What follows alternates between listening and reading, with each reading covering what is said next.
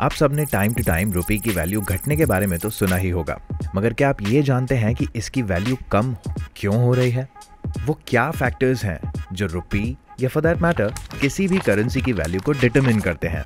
और अगर आप नहीं जानते तो इस वीडियो को एंड तक ज़रूर देखिए टू अंडरस्टैंड कि यह कैसे वर्क करता है। और नेक्स्ट टाइम जब भी ये टॉपिक छिड़े तो आप अपने नॉलेज से सबको इम्प्रेस कर सकें। सबसे पहले आते हैं इस क्वेश्चन पर कि करेंसी का वैल्यूएशन होता कैसे है। एक होता है फिक्स्ड वैल्यूएशन और दूसरा होता है फ्लेक्सिबल फिक्स्ड में गवर्नमेंट डिसाइड करती है कि उस देश की करेंसी की क्या वैल्यू रहेगी और फ्लेक्सिबल में वैल्यू मार्केट से डिसाइड होती है। अप टिल 1993 इंडिया में भी करेंसी की वैल्यू फिक्स थी, यानी कि हमारी गवर्नमेंट डिसाइड करती थी कि रुपी की वैल्यू क्या होगी। अब उस टाइम इंडिया एक डेवलपिंग कंट्री थी। काफ़ी फ्रीक्वेंटली फॉरेन एड की ज़रूरत पड़ती रहती थी। करेंसी की वैल्यू अगर ज़्यादा हो तो डोनर कंट्री लोन देने से इनकार कर सकती है। फॉर एग्ज़ाम्पल अगर एक डॉलर की वैल्यू दस रुपी के इक्विवेलेंट है तो डोनर कंट्री के लिए लोन देना एक्सपेंसिव हो सकता है, यानी कि महँगा हो सकता है। ऐसे में गवर्नमेंट अगर रुपी की वैल्यू घटाकर 10 से एक डॉलर की बीस रुपए कर दे तो वही लोन ज़्यादा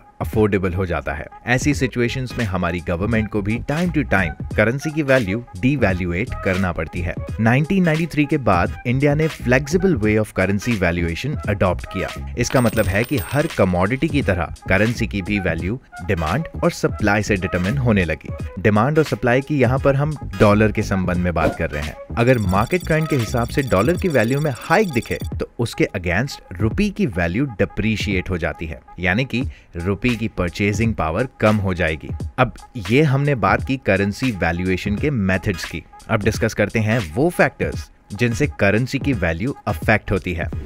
और ये सबसे मेजर फैक्टर्स हैं। सबसे पहला फैक्टर है करंट अकाउंट डेफिसिट कोई भी कंट्री से होने वाले एक्सपोर्ट से डॉलर का सप्लाई डिटरमिन होता है, क्योंकि उन्हें अपने एक्सपोर्ट किए हुए गुड्स की पेमेंट डॉलर में ही मिलेगी। ठीक उसी तरह कंट्री के इंपोर्ट्स भी डॉलर की वैल्यू को अफेक्ट करते हैं। अगर कोई देश के इंपोर्ट्स उसके एक्सपोर्ट से ज़्यादा हैं, तब डॉलर की डिमांड सप्लाई से ज़्यादा होगी। ऐसी सिचुएशन में डोमेस्टिक करेंसी यानी कि इन इंडिया केस रुपी की वैल्यू डॉलर के अगेंस्ट कम हो जाएगी। जिस भी देश का इंपोर्ट ज़्यादा और एक्सपोर्ट कम होगा, उसका करंट अकाउंट डेफिसिट ही ज़्यादा होगा।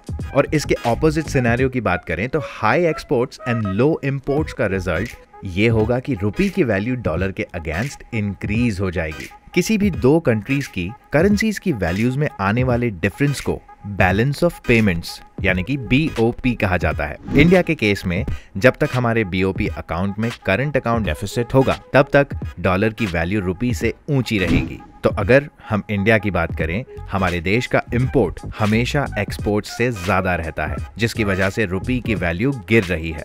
वहीं अगर हम चाइना का एग्ज़ाम्पल लें वो अपना ट्रेड डेफिसिट मोस्टली कांस्टेंट रखते हैं।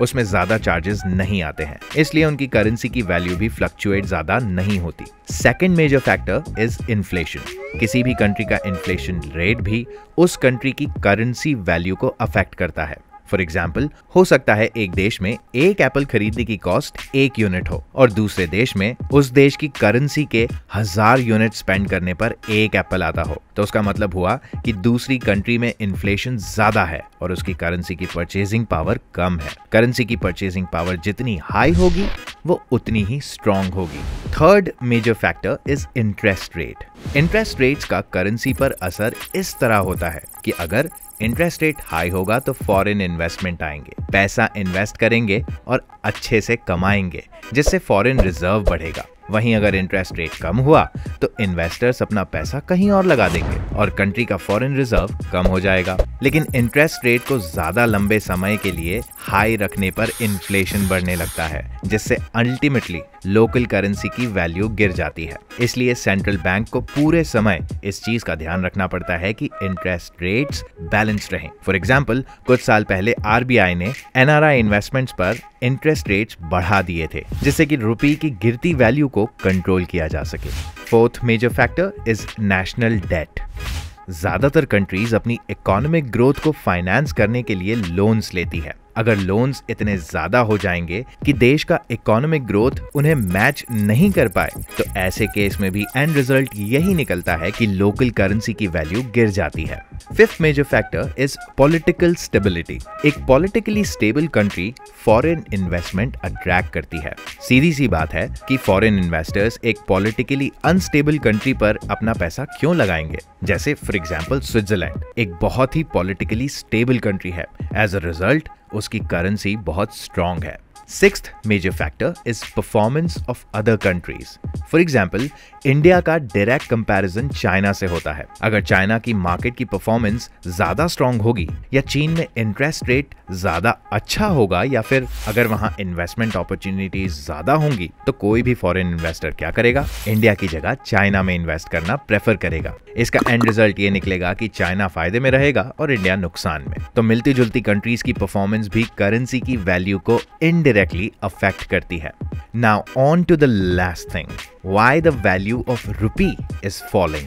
Lockdown के बाद धीरे धीरे इंडिया इकोनॉमिकली ट्रैक पर आ ही रहा था कि पिछले महीने रुपी की वैल्यू फिर गिर गई और एक डॉलर की अस्सी रुपए वैल्यू हो गई। डॉलर की वैल्यू इतना बढ़ने के पीछे का कारण है रशिया यूक्रेन वॉर यूक्रेन में जब से वॉर शुरू हुई है क्रूड ऑयल के प्राइसेस बढ़ गए हैं। जिसका मतलब है कि क्रूड ऑयल के इम्पोर्ट के लिए इंडिया को पैसा देना पड़ रहा है, जिसका निष्कर्ष ये निकल रहा है कि इंडिया का फॉरेन रिज़र्व कम होता जा रहा है और रुपए की वैल्यू गिर रही है। मैंने ये सारी चीज़ें आपको एक ले मैंस टर्म में एक्सप्लेन करने की कोशिश की है कि रुपये की वैल्यू डॉलर के अगेंस्ट कैसे तय होती है और वैल्यू क्यों गिर रही है। अगर कोई इंपॉर्टेंट पॉइंट या फैक्टर्स मैंने मिस किए हों तो आप उसे कमेंट सेक्शन में ज़रूर मेंशन कीजिए। सिमिलरली अगर कोई डाउट्स हैं जो क्लियर नहीं हो पाए हैं तो वो भी मुझे कमेंट सेक्शन में ज़रूर बताइए। आई मेक श्योर कि आई क्लियर दोज डाउट्स इसी तरह के और वीडियोस देखने के लिए आज ही हमारे चैनल को सब्सक्राइब करके बेल आइकन दबाकर ऑल नोटिफिकेशंस पर क्लिक करना ना भूलें, ताकि the next time when I upload a new video you get notified और अगर आपको ये वीडियो पसंद आया हो तो इसे लाइक और शेयर ज़रूर करें। बाय